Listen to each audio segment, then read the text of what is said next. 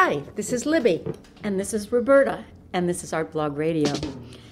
Today we're speaking with Jenny Drumgoole. We're at her house in the Kensington, East Kensington neighborhood of Philadelphia. We've known about Jenny's work, her subversive videos, for a number of years. She creates a persona, sort of a parody superwoman. In her food videos, she inserts herself into national or local contests like the Philadelphia Wing Bowl, for example, or the Paula Deen Real Women of Philadelphia recipe contest.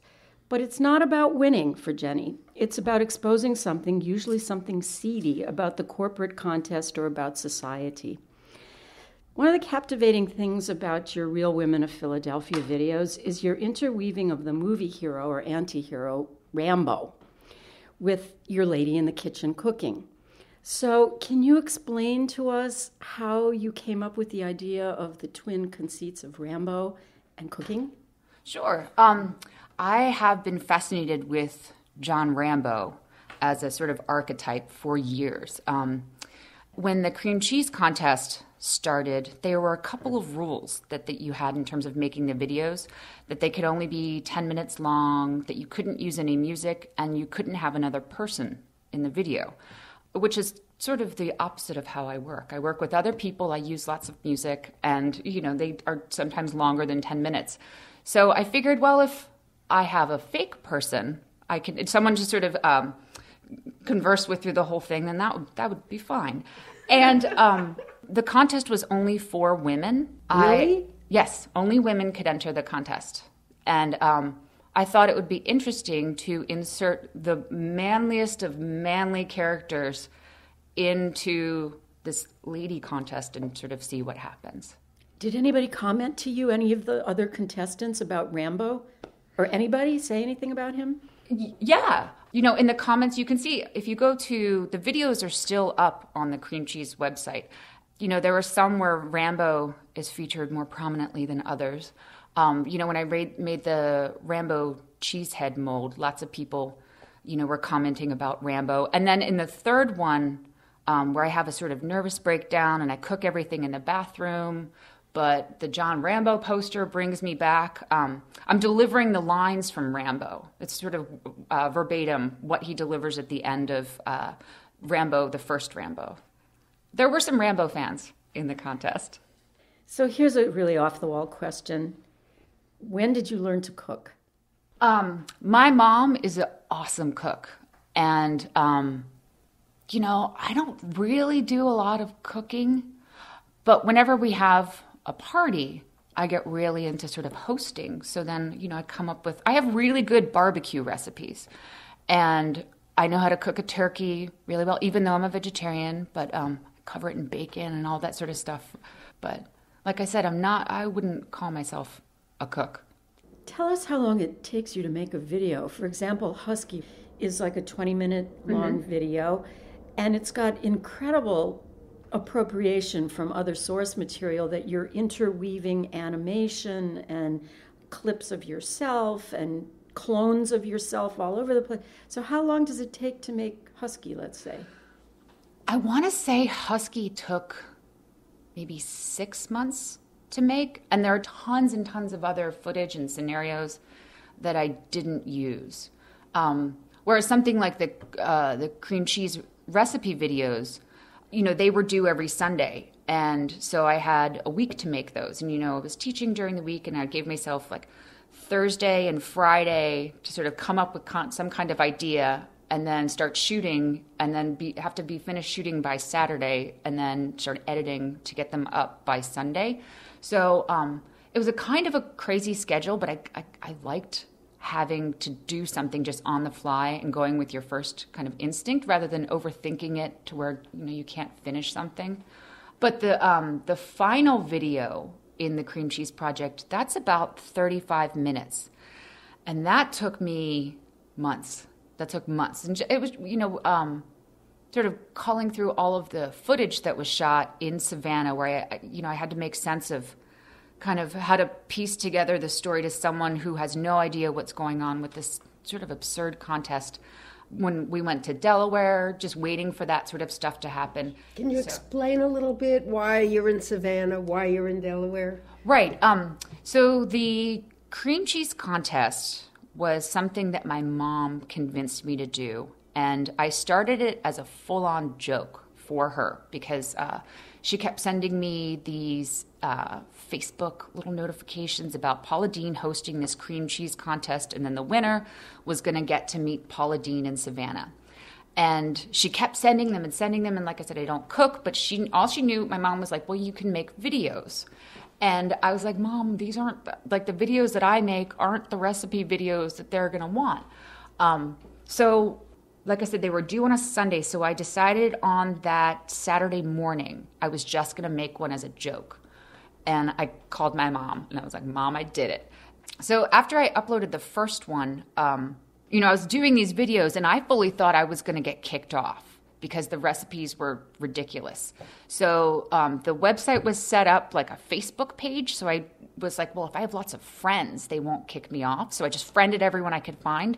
But then the second week, Paula Deen, quote unquote, comes on and she would feature, she would talk about maybe three or four recipes during the week and give a little shout out. And my Rambo cream cheese head talking mold, she said something like, I don't know what's going on in this video, but it had me howling all the way down in Savannah. And um, once I got that, I, I made so many friends on that site. My mom was so proud, proudest ever. and I called her and I was like, look at the website and she basically hangs up on me and starts putting it on Facebook. After I go through all of this, and there were a couple other times that Paula Deen mentioned my videos. So when it comes time to announce the finalists, which I couldn't, I couldn't be a finalist in this because I never really cooked anything. I decided I was going to go down to Savannah, and I, um, my friend came with me and she filmed me. And from the beginning, my goal was to get my mom's cookbook signed by Paula Deen. And I say it through like a bunch of them. It's like, please sign my mom's cookbooks. And I was like, hell or high water, I'm doing what I have to do to get the cookbook signed. So that's why I went to Savannah. And how about Delaware? Well, Savannah was sort of a nightmare.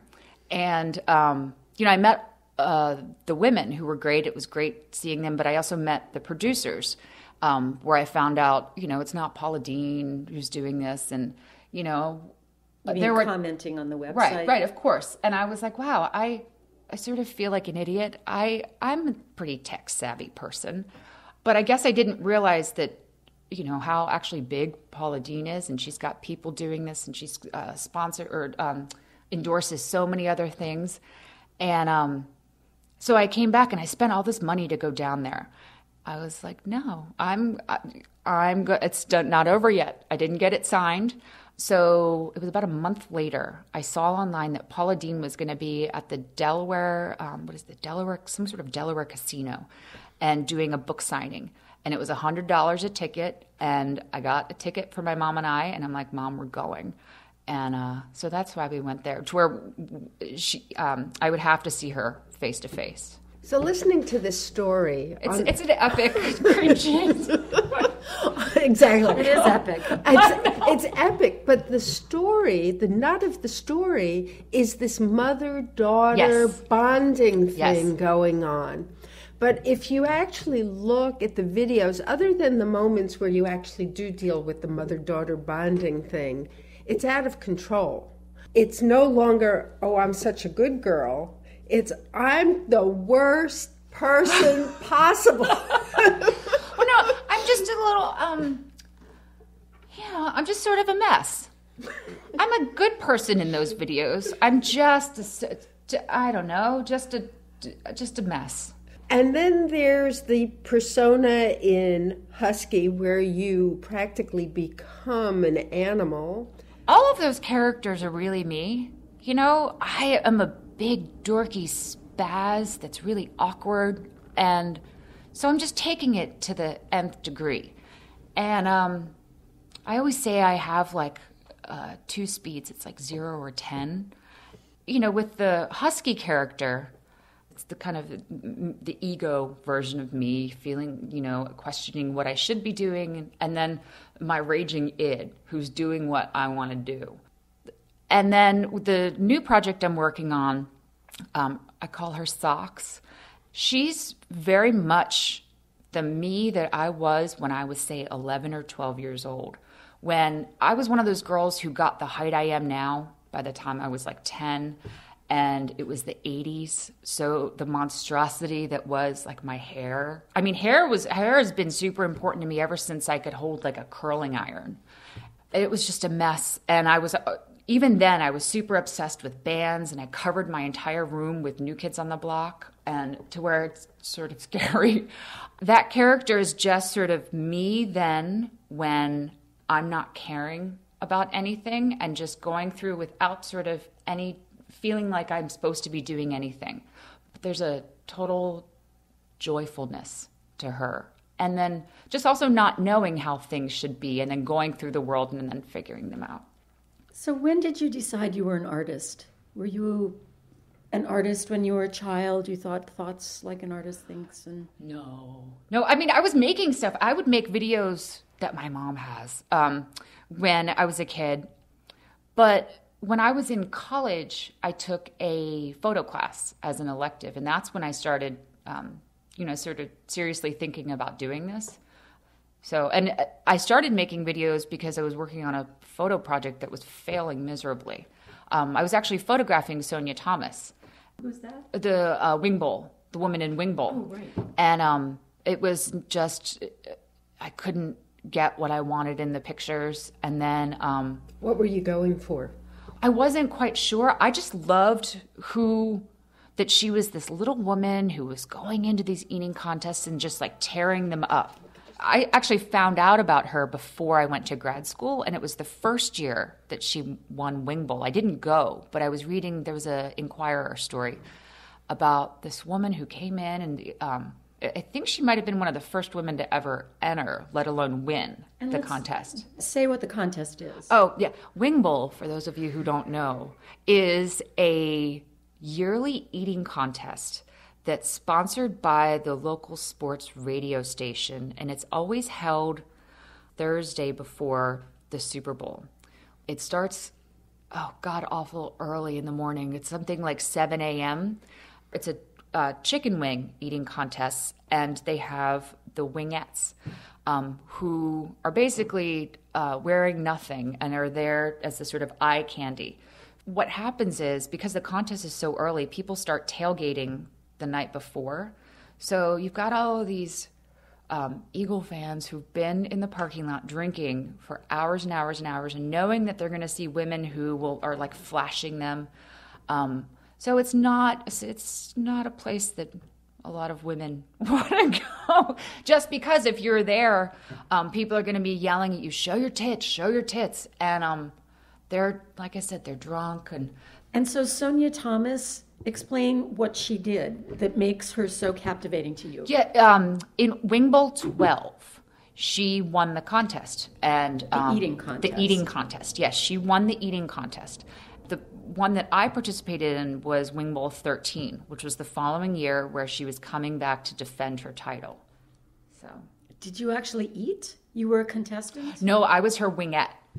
And what appalled you about this? I mean, clearly, this is sort of, I mean, uh, on one hand, it sounds like you thought it was wonderful, and on the other hand, right. you thought well, it was horrible. Yeah, I'm always, um, uh, the work that I make has a lot to do with these um, absurdist kind of spectacle, spectacles that I both love and hate at the same time. You know, going in, I mean, it's sort of scary going into Wing Bowl. The thing that was the the hardest is when you know we do a procession around the stadium, and everyone was upset that Sonya won the year before. So this was going to be the year that El Wingador was coming back and he was taking that title back. So during his procession, as soon as we start going out, people started throwing. Um, they had glass beer bottles full that they were throwing at us, and they they should have stopped it going around. But you know, we did the whole procession. I was like soaking wet by the time that um, we made it to the stage. And what were she you was wearing? shaking. I was wearing a unitard. I figured that would be the most appropriate sort of wingette costume. Would be a leopard unitard and then you know just a lot of people who were screaming and yelling at you um, you know when we're walking in i had to they were i was told to go through a separate entrance like the wingette entrance which i couldn't find it's a crazy mob and um, so i'm trying to push through the crowds and as soon as they see a woman who, who looks like she's sort of wingette material. You know, the whole crowd started, and this is in the video, they started um, chanting, Show your tits, show your tits, show your tits. Yeah, so I mean, it's a kind of a crazy scene. It was kind of a crazy scene. So, but I would go back. You would yes. as a as a an entrant or a wingette. See, okay, I'm a vegetarian, and I, I before I decided to be a wingette, I um, was like, well, I'll give up being a veg. And I've been a vegetarian since I was maybe 14, and I was like, well, if I could do this, I would. I'll stop being a vegetarian. So that's why in the video there's footage of me eating a pie but trying to eat that fast is really, really, really hard. So I'm like, well, if I can't even get through a pie in like 30 minutes, there's no way, there's no way I could do this. So. So you're sort of like a movie star in your own movies, and you know, taking on. I, it's only because no one else will do it. it would be nice if I. No one else will do it. Well, how could you get someone else to do it? Because there's a certain zaniness that goes on that seems to just grow out of you. I always think I could, like, if I lived closer to my mom, she could do it. Because my mom is, I mean, you think I'm crazy. Is my she mom. a performer? Oh, yes. Oh, yes, she is. Mm-hmm. Is that in your future to make a video with mom, you think? I actually, at one point, and I never really did anything with it, but um, I made a video about my immediate family and just that experience of being home and how just funny and ridiculous it is. How many siblings do you have? I have one brother and one sister. So and where are you in the mix? I'm a middle child. Uh huh. that explains it all. Thank you so much. We've oh, been talking with Jenny Drumgoole today. Thank you, Jenny. It was great. Thank you. Thank you. Art Blog Radio is brought to you by theartblog.org. Thanks to our sponsors, including the Knight Foundation. Also, we want to thank Peter Crimmins, who makes us sound good. He's our editor. And thanks to Eric Biondo for his music. You can download these podcasts at theartblog.org slash radio.